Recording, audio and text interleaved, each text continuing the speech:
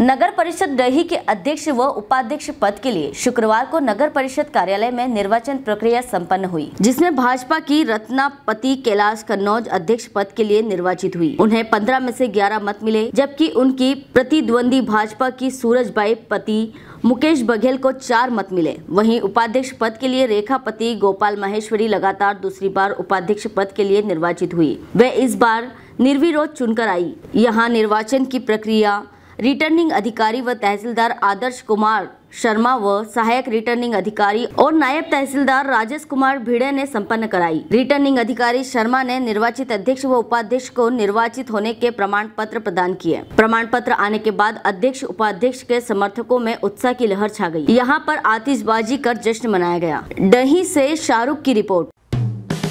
Hello friends आप देख रहे हैं हमारा channel S W twenty four news हमारे सारे वीडियो सबसे पहले देखने के लिए आप हमारे चैनल को सब्सक्राइब करें और पास में लगे बेल आइकन को दबाना बिल्कुल भी ना भूलें।